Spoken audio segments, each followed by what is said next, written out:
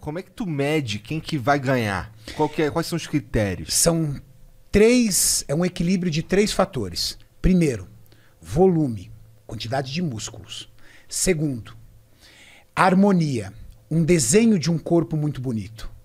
Não adianta o cara ter costas enormes e pernas finas. Ou ter braços avantajados e ombros pequenos. É como se fosse realmente uma escultura daquela época grega. Onde todos os grupamentos musculares têm uma harmonia entre eles.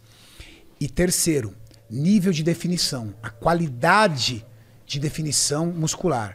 O mínimo possível de percentual de gordura, o máximo possível de massa muscular dentro de um desenho muito harmonioso.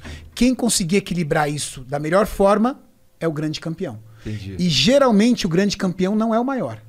Interessante Não demais. é o maior. Mas o mais esteticamente falando bonito e harmonioso. Entendi.